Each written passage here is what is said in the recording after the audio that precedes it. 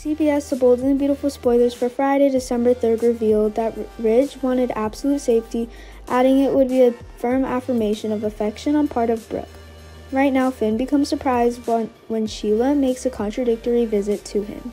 B&B spoilers reveal that Deacon and Hope both wanted Brooke to start a family with them. Ridge, Liam, Steffy all thought that Hope was controlled by Deacon, so they had such thoughts.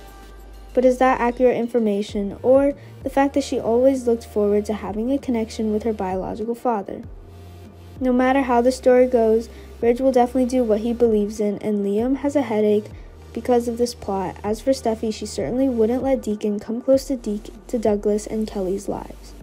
Besides, Ridge asserts that Deacon's appearance is not about wanting to have a close life with Hope.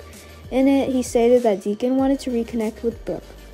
So he didn't. In the fifth episode, Brooke chooses private and asserts that she has always had a strong affection.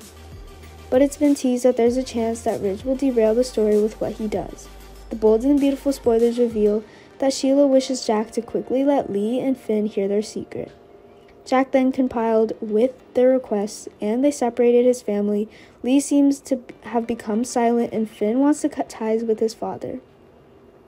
Also, Sheila will surprise Finn on her next hospital visit. What words will she say when she comes to his office? Will she end the story and take Jack's side or appear guilty? It is teased that after the conversation between Sheila and Finn, Finn now finds himself in trouble, followed by the desire to be close. Accordingly, all the struggles will be built by him in his marriage with Finn. It is likely that this will be a crisis period for both, most importantly, the secret desire for the biological mother.